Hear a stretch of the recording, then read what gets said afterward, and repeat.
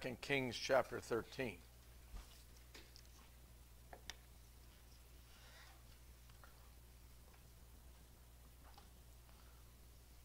We, we ended before lunch uh, in First Kings now. there's two ways. One of the kings invented a counterfeit religion, Jeroboam. It will become institutionalized. Within the very borders of the chosen people, there will be the true and the false. Now, when we progress here and we start to group some books together, Second Kings and First and Second Chronicles. They're both about this king period we've been talking about. Second Kings, First and Second Chronicles. You'll see the people's way versus God's way. Now there'll be struggles back and forth. You have Jerusalem, God's way, the house of David. You have man's way that you can get to also in Dan and Bethel. Relatives are involved in time and distance. And there's going to be the struggle of good and evil now that God's people are going to have to start making choices because they're both there, like exist in Christendom today. In the early New Testament, you could either be a Jew, a pagan, or a Christian. The Christian church in Ephesus, there was no 20 other churches next door to go to that said Christian. There is today. And so there's these choices to be made. You have uh, the people's way versus God's way. And uh, uh, of course, you have another, the evil king, and so on. Now, uh, we use this little thing to uh, show uh, this battle that's going to go on in, in, these books here. And I have you in 2 Kings 13 to show you that in the north, all the kings never, never departed from the institutionalized counterfeit religion. It became the heritage of grandma and grandpa. They were born into it. It became the religion of the north. For example, 2 Kings 13 and verse 1. 2 Kings 13 and verse 1. In the three and twentieth year of Joash, the son of Ahaziah, king of Judah, Jehoahaz, the son of Jehu, began to reign over Israel and Samaria and reigned 17 years. And he did that which was evil in the sight of the Lord, and followed the sins of Jeroboam, the son of Nebat, which made Israel to sin. He departed not therefrom. No northern king will repent and do away with that religion. It'll be the religion of the state. And I've skipped, there's a whole bunch of this, and I've skipped some already. But the measuring stick, no matter what else is done, is the religious sin of Jeroboam. Uh, God at times had mercy on a few, some people. Look at verse 6 or verse 5, 13 5. And the Lord gave Israel a savior so that they went out from under the hand of the Assyrians. And the children of Israel dwelt in their tents as before time. And so sometimes he wouldn't even preserve them from annihilation. But look at verse 6. Nevertheless, they departed not from the sins of the house of Jeroboam, who made Israel uh, sin, but walked therein, and there remained the grove also in Samaria. Uh, religious sin, brothers the sins of Jeroboam. It wasn't murder, it wasn't stealing. You get down to verse 10. 2 Kings 13:10. In the 30 and 7th year of Joash, king of Judah, you have this simultaneous report now, began Jehoash, the son of Jehoahaz, to reign over Israel and Samaria and reigned 16 years. And, verse 11, he did evil, or that which was evil, in the sight of the Lord and departed not from all the sins of Jeroboam, the son of Nebat, who made Israel to sin, but he walked therein. Not walking in the way of God, walking in the religion of that day. Never mind what else happened in Israel. The measuring stick is here's my truth, here's the false, and every king up there was evil. In fact, here's a little chart for you. And uh, Israel uh, had 20 evil kings.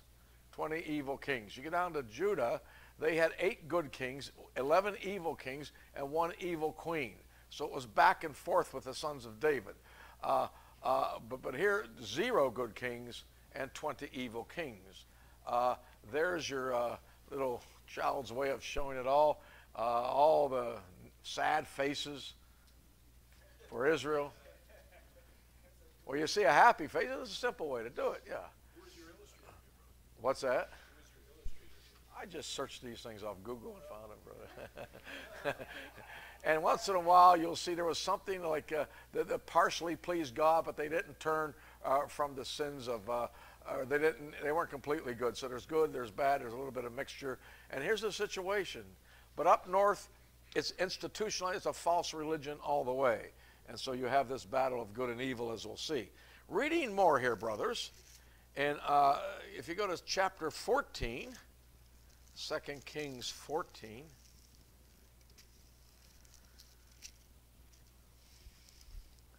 And uh, look, look, at verse 23, 2 Kings 14, 23.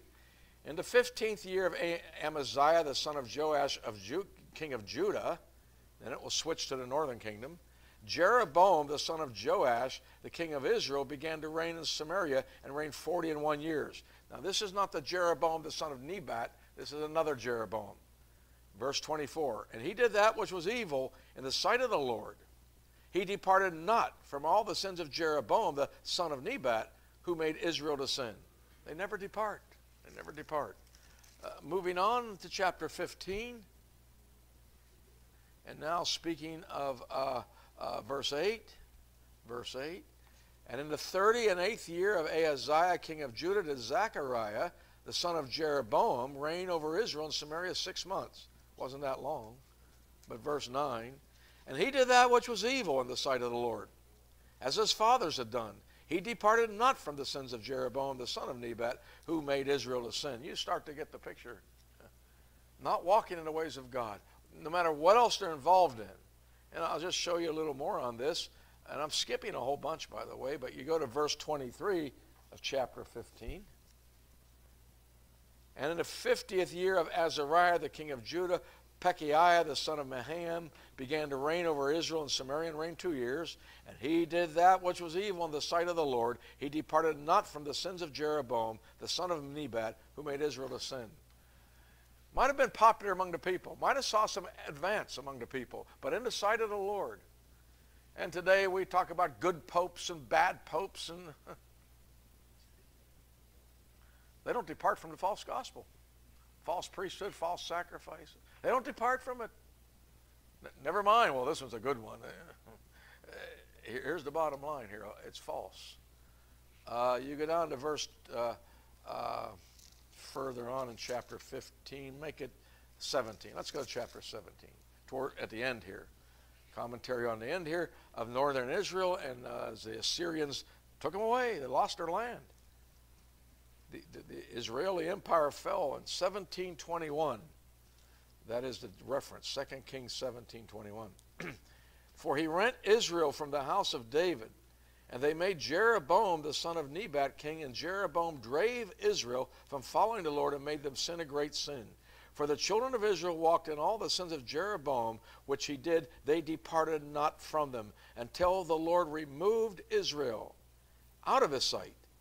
As he had said by the hand all his servants the prophets, so was Israel carried away out of their own land to Assyria unto this day. In that purge, the altar of Jeroboam got demolished. The priesthood bones were burnt on it, as prophesied. God's judgment eventually fell on it. But for you know a couple, two, three hundred years, it continued here, and finally God removed them out of that site. Now, as we're saying, while it existed, there's a battle of good and evil for the people of God. So, so let's go into the Chronicles now where you get some more of this history. If you go, if you would, to Second Chronicles chapter 11. Second Chronicles chapter 11, please.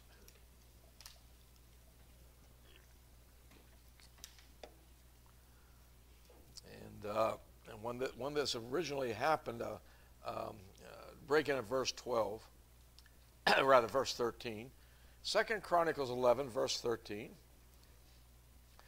And the priest and the Levites that were in all Israel resorted to him out of all their coast. For the Levites left their suburbs and their possessions and came to Judah and Jerusalem, for Jeroboam and his sons had cast them off from executing the priest office unto the Lord. Jeroboam has the counterfeit. He doesn't need the Levitical priest. And they had suburbs where they lived up there, and he cast them off and made his own priesthood. We already learned that. Verse 15. And he ordained him priests for the high places, and for the devils or demons, and for the calves which he had made. There's a satanic spirit behind all this. Verse 16. And after them, out of all the tribes of Israel, such as set their hearts to seek the Lord God of Israel came to Jerusalem to sacrifice unto the Lord God of their fathers. So, some decisions had to be made. I don't, I'm not a priest, or I'm way up here. Do I just go along with it, or do I make, do I make the long trip, you know, by donkey, mule, walking many, many miles up to Jerusalem to sacrifice at the place that God has put His name? Today, His name's on the Lord Jesus. Where two or three are gathered together in my name, there am I in the midst of them. Is there a sacrifice? Some, they set their hearts, as you hear, to, to, to, seek the Lord God of Israel and came to Jerusalem to sacrifice. They made the long trip. They went against the populace. They might have went against family. God notes them here in Scripture. And they strengthened the hand of Judah and Rehoboam for three years, etc. So that there's these choices to be made. In some cases, with the kings of uh, uh, Judah, at sometimes revival would come along. One of the great revival kings right here and then they have the little smiley face there, is, is Hezekiah. By the way, his son, Manasseh, was the worst king in all of Israel. He made Israel do worse than the heathen, it says in 2 Chronicles 33. They lived worse than the pagan, the people of God. You will see that good kings can have bad sons. And sometimes horrible kings has good sons. Uh, it's an amazing thing to watch here. But in the end of Hezekiah Manasseh's day, he ended up repenting, by the way, uh, after all that. But Hezekiah was a revival king. So let's go to chapter 30 and see this struggle continue here as he brought revival to Judah. Yeah, Second Chronicles. Second Chronicles chapter 30, please.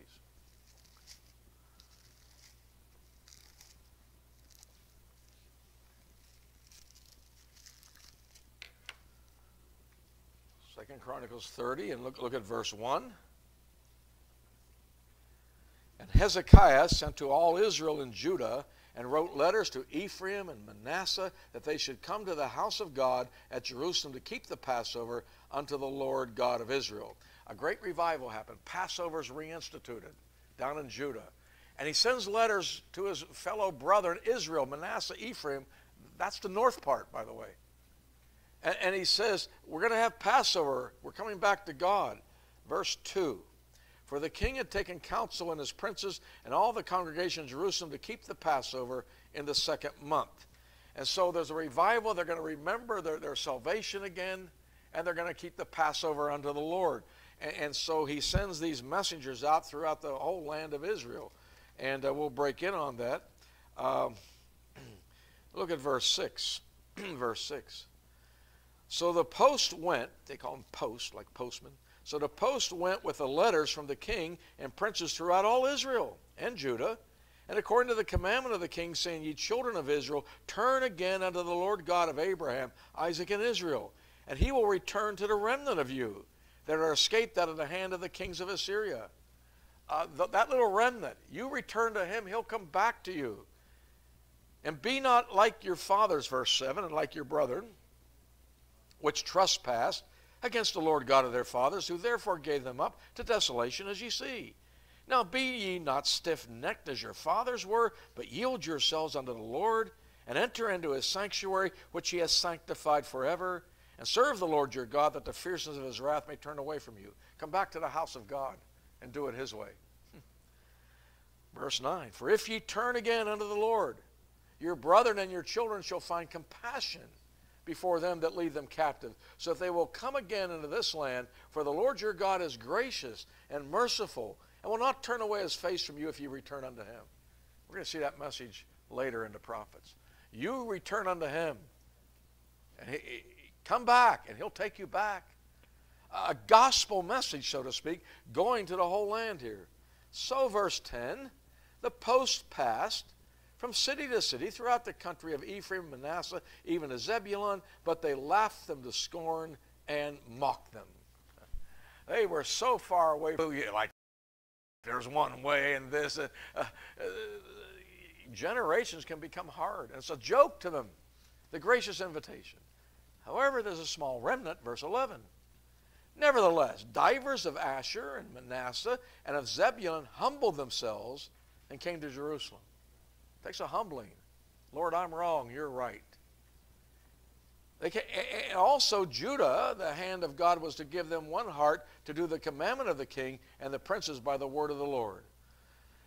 So, brothers, there's always a remnant that seems to humble themselves. Choices to be made. To the most people, it was a joke. But you look and there's real people. And they say, I, I want to come back and do it God's way, and He will have mercy on them.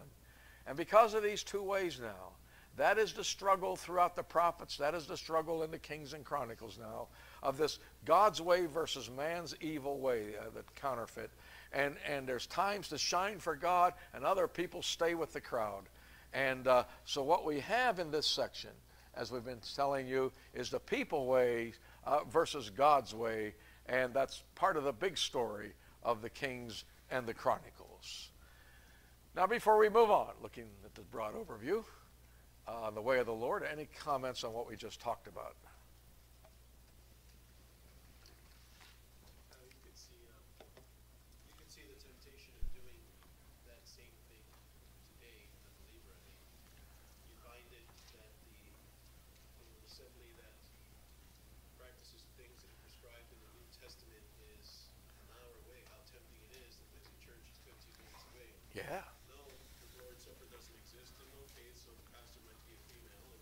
Yeah. All these things, but it's close. It's got things for the kids, and you know, it pleases the people, not the Lord. Yeah. And God allows this, and somehow it's a matter of the heart now. And to others, it's just a big joke. They, they laugh at it. You know, brothers, when you get to the New Testament, there is this type of call. We're told not to be unequally yoked together with unbelievers in 2 Corinthians 6.14. And the house of idols is the context, the immediate context th- those exist today in Christendom. You, you know what 2 Corinthians 6.17 says?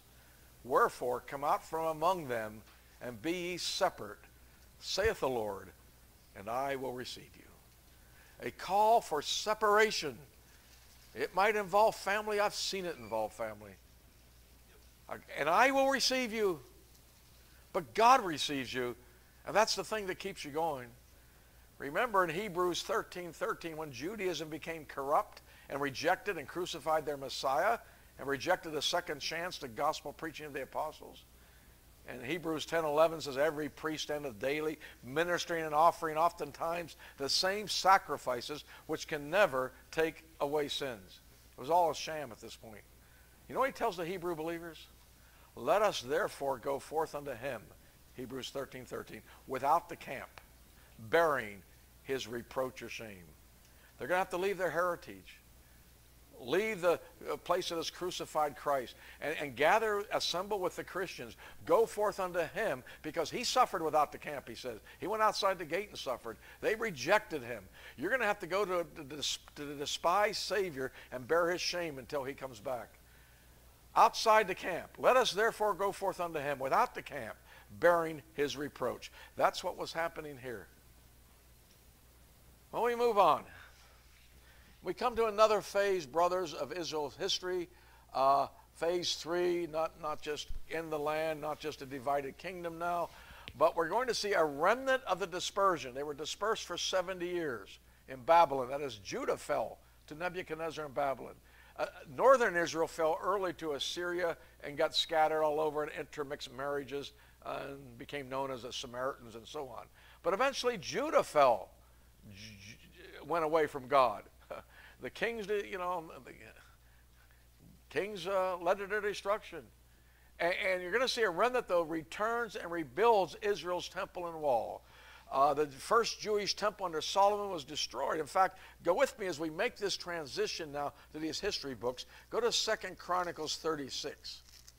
Second Chronicles 36. As it gets set up for the next phase here. And I'll just uh, take you down to verse 14. And this is how Judah, Jerusalem now fell. Second Chronicles 36 and verse 14.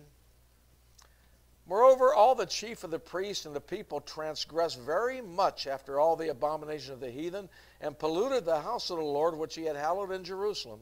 And the Lord God of their fathers sent to them by his prophets, rising up be times. Okay? Rising up, and that old word be times means continually and carefully. God never let up. And in his care, he would keep sending prophet after prophet. Rising up, verse 15, be times, and sending because he had compassion on his people and on his dwelling place. God didn't destroy it right away. I mean, he went through bad and good. A long suffering God. But, verse 16, they mocked the messengers of God, despised his words, misused his prophets, until the wrath of the Lord arose against his people, till there was no remedy. God's slow, slow in anger. But, you know, with our children, we've used expressions sometimes. I've had it up to here. Happens with the Lord. Can take no more. You look at verse 17. Therefore he brought upon them the king of the Chaldees, that's Nebuchadnezzar, who slew their young men with the sword in the house of their sanctuary, and had no compassion upon young man or maiden, old man, or him that stooped for age, he gave them all into his hand. Women, old men, a society being purged by the Babylonians. Verse 18. And all the vessels of the house of God, great and small, and the treasures of the house of the Lord, and the treasures of the king, and the princes of all these brought he to Babylon. And they burnt the house of God, and brake down the wall of Jerusalem, and burnt all the palaces thereof with fire, and destroyed all the goodly vessels thereof. First temple, house of God's burnt. Why would he let that happen? Ezekiel says if you went on the inner walls, there were all kind of carvings of idols and images. Jealous God burns it up. Verse 20. And them that had escaped from the sword carried he away to Babylon, where they were servants to him and his sons till the reign of the kingdom of Persia, to fulfill the word of the Lord by the mouth of Jeremiah until the land had enjoyed her Sabbaths. For as long as she lay desolate, she kept Sabbath to fulfill three score and ten years. Ten years without a temple, without a nation, just a desolate piece of land uh, under the judgment of God. Now, with that said, God made promises to Israel. He made promises to David. The throne as David has stopped, but not the seed of David. And things are going to rebound. There's that Abrahamic covenant, the land. God never breaks a covenant. And so he works in that framework. And look at verse 22. Now, in the first year of Cyrus, king of Persia, that the word of the Lord spoken by the mouth of Jeremiah might be accomplished, the Lord stirred up the spirit of Cyrus, king of Persia, that he made a proclamation throughout all his kingdom, and put it also in writing, saying, Thus saith Cyrus, king of Persia, All the kingdoms of the earth hath the Lord God of heaven given me, and he hath charged me to build him a house in Jerusalem, which is in Judah. Who is there among you of all his people? The Lord his God be with him and let him go up. This one's not destroying Judah.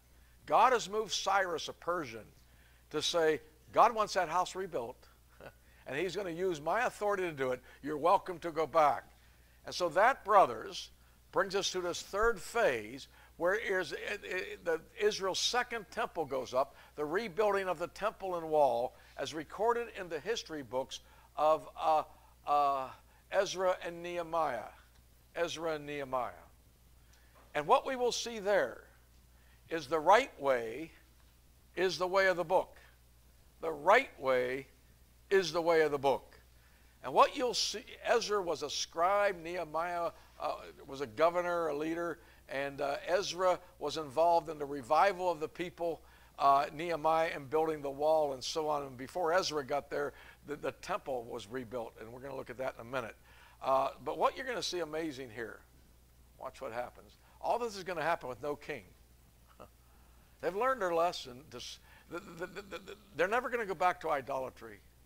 I mean, this is a great embarrassment and purge of that whole chosen people out of their land, north and south. And uh, we're going to see in this return, this revival here, and just briefly in Ezra and Nehemiah, that the right way is the way of the book. So let's look at these two historical books here of the rebuilding of the second temple, the return of Israel to their land, uh, at least in the Judah area. Uh, going to Ezra chapter 3, just looking at the highlights, brothers.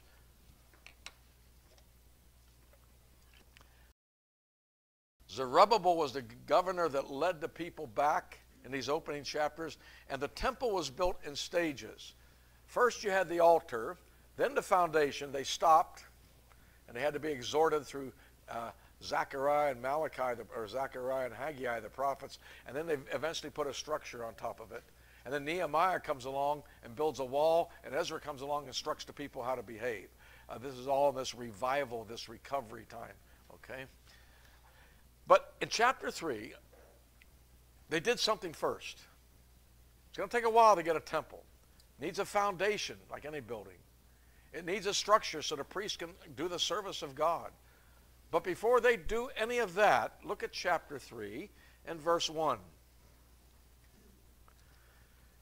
It gives you the names of those who returned and so on, uh, many of the names. In uh, chapter 3 and verse 1, they left Babylon and came back to a, not a tourist attraction, a desolated city that was burnt. There's going to be a lot of hard work. Enemies would be against them. This was a hard work, but they had a heart for God in this house. In verse 1, when the seventh month was come, and the children of Israel were in the cities, the people gathered themselves together as one man to Jerusalem. Then stood up Yeshua, the son of Josadak, and his brethren, the priest, and Zerubbabel, that's the governor, Yeshua, or Joshua the priest, the son of Shealtiel, and his brethren, and builded the altar of the God of Israel to offer burnt offerings thereon, as it is written in the law of Moses, the man of God. They had left the book. Wrath came from God. They left the book. They had another altar during the other kings. Uh, they, they didn't offer the offerings the right way. They had left the book. But now it's the way of the book. And what you're going to see happen here, uh, firstly, uh, there is this altar built, a place of sacrificing offering to God, like worship, you know. Uh, never mind the service of God, which is to happen, that will come later. But, but their hearts are back, giving to God the blood sacrifice. As it is written, the right way is the way of the book. Look at verse 3. And they set the altar upon his bases for to fear upon them because of the people of those countries, and they offered burnt offerings thereon unto the Lord, even burnt offerings morning and evening. They kept also the Feast of Tabernacles as it is written, and offered a daily burnt offerings by number, according to the custom as the duty every day required. And here's all these offerings going up to God burnt offering, peace offering, meal offering, all picturing the coming Lord Jesus Christ who loved us and gave himself as an offering and a sacrifice to God for a sweet smelling savor. Huh? Ephesians 5 2. And, and so there's this heart for God and starting to worship God his way, going by the book again. Now, eventually, they'll build the foundation. And of course, the foundation of the New Testament church is Jesus Christ. Sometimes we've got to get back to the gospel. And then they'll eventually build a structure on top of it where the service of God happens. The priest goes into that first part, accomplishing the service of God the Bible says. All these things are good. But, it's going to go about a book now, but it starts with hearts offering up to God. And sometimes, you know, when the revival happened in the 1800s, the recovery of the church, we call it now the New Testament Assembly, you know what it started with? The Lord's Supper. the remembrance of the Lord Jesus. Taking up with him. Then all kind of things came from that and so on. But, but it was a simple return to the Lord's Supper for the one body. Amazing. You read it in church history. But, but as you go on here, you go to chapter 7 of Ezra, after the temple is built. And by the way, in between chapter 6 and 7, the building of the temple, and the next return of Israel to uh, eventually build the wall and all that, that's when the book of Esther happened, which we'll get to when we get to Esther. Uh, but right now we're in chapter 7. Esther happens between 6 and 7 here of Ezra. But we get to Ezra chapter 7, and uh, just looking at verse 10. For Ezra had prepared his heart to seek the law of the Lord and to do it, and to teach in Israel statutes and judgments. Here comes a man now going to lead a people back now. Now at the temples there, another wave of return is happening. And he has a prepared heart. I want to do it your way, God. You remember we talked about I did it my way. I did it. A heart to seek the Lord and teach Israel. He wants to get back to the book. You go to chapter 8 as he brings this group back. Take you to verse 21 of Ezra 8. Verse 21. He says, Then I proclaimed a fast there at the river of Ahava, that we might afflict ourselves before our God to seek him a right way for us and for our little ones, and for our substance. Seeking a right way to do things. What a refreshment after the apostasy of the kings in Israel. Chastisement works sometimes. Uh, then I proclaim fasting that we might afflict ourselves before God to seek. A, uh, they're going to fast. He proclaimed to fast, afflict, confess anything because they're, they're in trouble here. I was ashamed to require the king a band of horsemen to help against the enemy. The enemy's in the way, and we fasted, and God delivered them. And you read that in the context. But afflicting themselves means humbling, confessing, and so on, brother. Yeah. Yeah, it's a humble attitude. 821. That we might uh, find a right way for us and for our little ones. Not only them, their families. Now, as you get to the next book, Nehemiah, Ezra is still a key player. Nehemiah is the governor, but Ezra is the teaching scribe priest. And as this revival continues, and the wall, now the temple is complete, and now the wall is going up, uh, I want to just show you what happens here in chapter 8. The right way is the way of the book here. We'll give you a little picture of it here. In verse 1, this happens at the water gate. The wall's up. You have gates now. The enemy, God's people inside can be protected in the temple. Uh, there's a separation between them and the enemy now, though, because that wall does that. And verse 1, chapter 8. And all the people gathered themselves together as one man into the street that was before the water gate.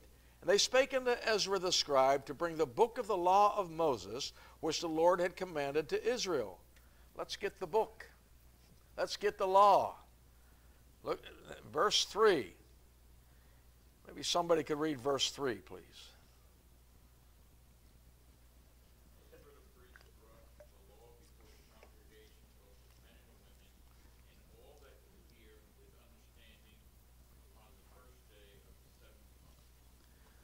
Okay.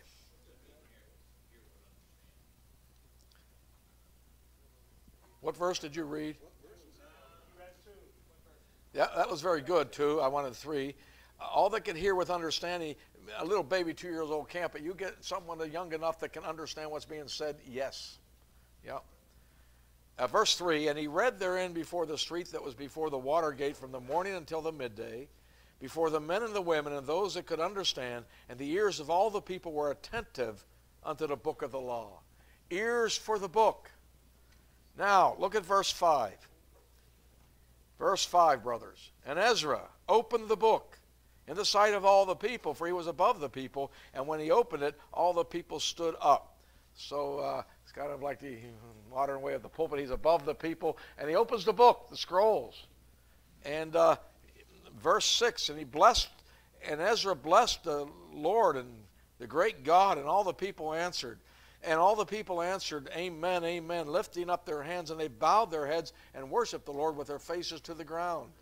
And so worship is produced. Sometimes the preaching of the word can produce worship also. You look at verse 8. So they read in the book the law of God distinctly and gave the sense, that is the meaning, and caused them to understand the reading. Yes, they read, but like we're doing, we try to give the sense, the meaning. And that's what preaching's about, brother. Not inventing things, just giving the sense what God means. And so they're getting back to the book. Now, now look, look at verse 14 of chapter 8 of Nehemiah. And they found written in the law which the Lord had commanded by Moses uh, that the children of Israel should dwell in booths in the feast of the seventh month. Now, this is a wonderful thing.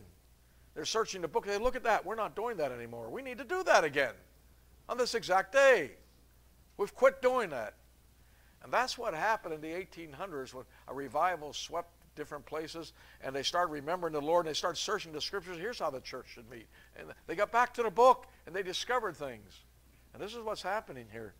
The right way is the way of the book. Now look at how the chapter closes, chapter 8 and verse 18. Also, day by day, from the first day unto the last day, he read in the book of the law of God. And they kept the feast seven days, and on the eighth day there was a solemn assembly unto the manner.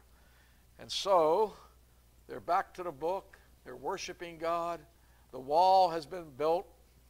Wall of protection keeps evil out, keeps those inside protected.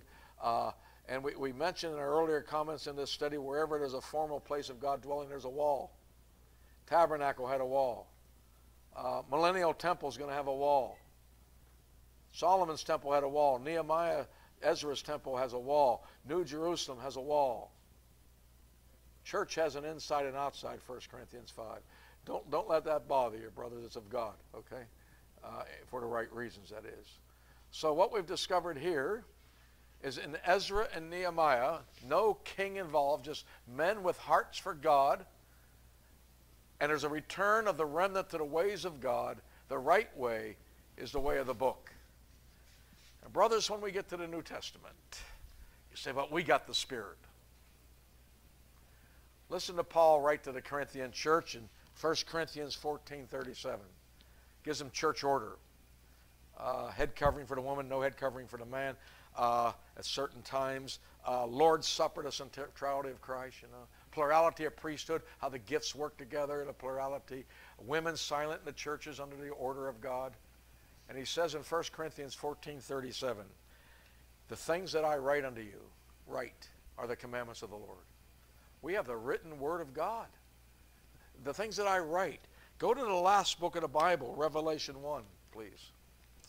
Revelation 1.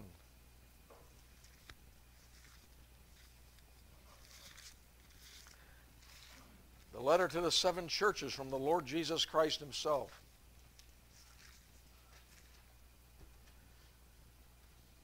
And if you like to pronounce the name of the churches, you can read Revelation 1:11, please, somebody. Revelation 1:11.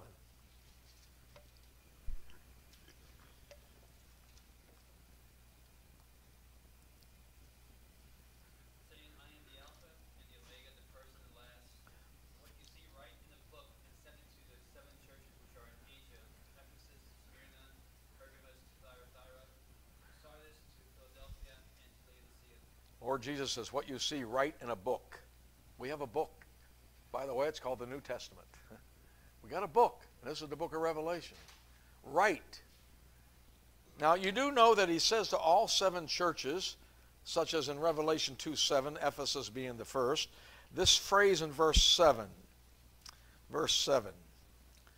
He that hath an ear, let him hear what the Spirit saith unto the churches.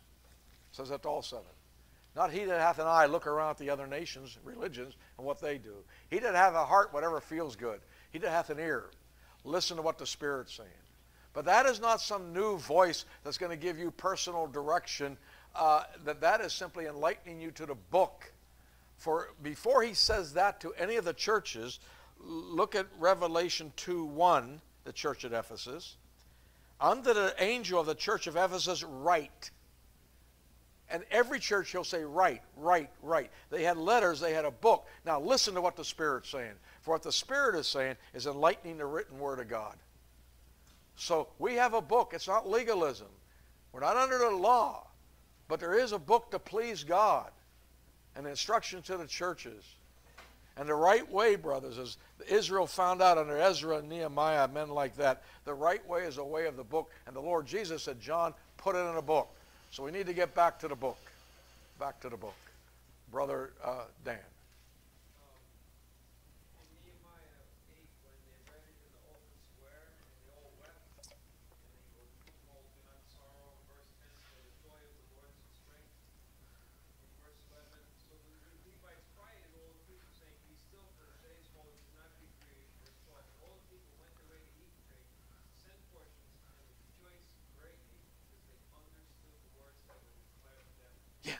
In the book. Yeah.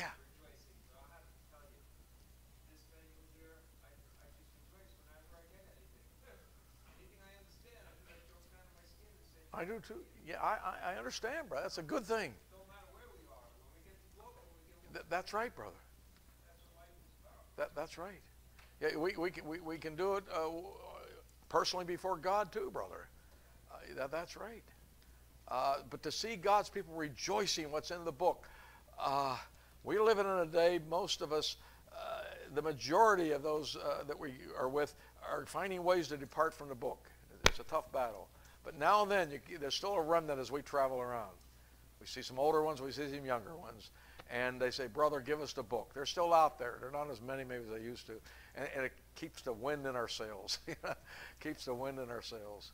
And uh, you want to look for that in your assembly and people you're working with. There's still God has a little group that still wants the book, okay? For the book is the Word of God. The right way is the way of the book. Now, brothers, I don't see any more hands. What we'll do is uh, Joe has a hand. Verse what, brother?